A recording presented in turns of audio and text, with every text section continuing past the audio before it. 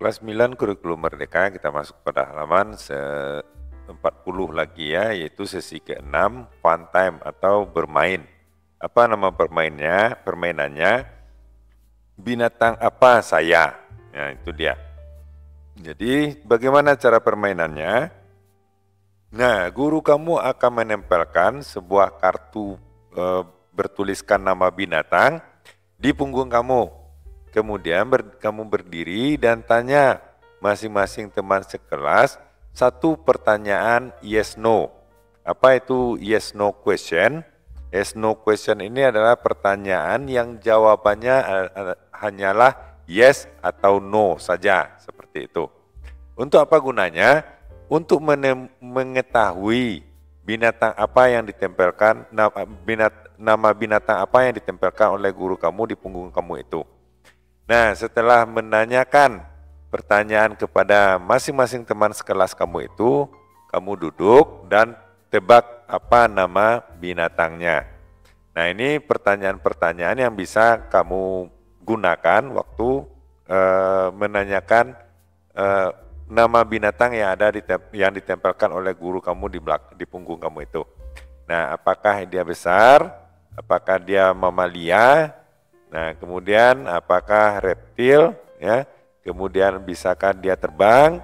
Bisakah dia berenang? apakah dia hidup di di atas pohon? Apakah dia hidup di sungai?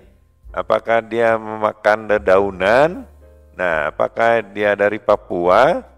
Nah, ini apakah dia dari Kalimantan Selatan?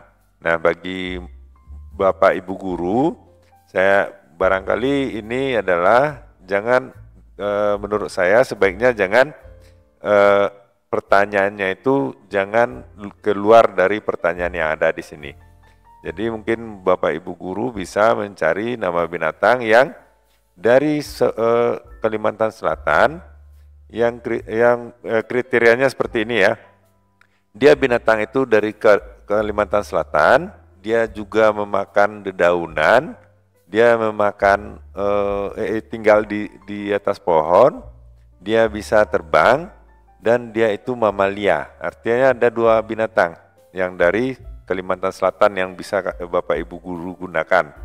Jadi misalnya apakah dia mamalia? Nah, dia juga mamalianya bisa tinggal di pohon atau tidak? Nah, kemudian mamalia itu juga makan uh, dedaunan. Nah, seperti itu. Jadi uh, siswa kita tidak menggunakan pertanyaan-pertanyaan yang di luar dari uh, buku kita ini. Ya, seperti itu.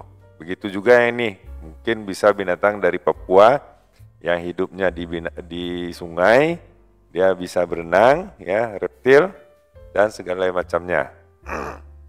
Nah, kita lanjut pada sesi ketujuh lagi yaitu pengayaan. Apa itu eh, apa pengayaan kali ini, kali ini kita membuat sebuah voice note atau uh, pesan suara. Nah, bagaimana caranya? Yang pertama, rekam suara kamu ketika membaca skrip monolog yang telah kamu pelajari pada unit ini.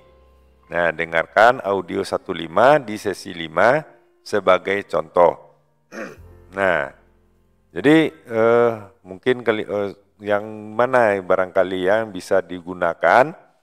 Eh, nah mungkin ini yang yang binatang yang di atas kamu rekam ya catatan-catatannya itu kamu rekam, kemudian kamu eh, buat voice note voice note-nya.